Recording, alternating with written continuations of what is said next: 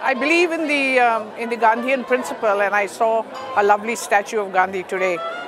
Uh, that um, unless any benefit uh, reaches the last person in the last village in the last corner, and for me it would be that last little girl dressed in rags, uh, hoping for a future.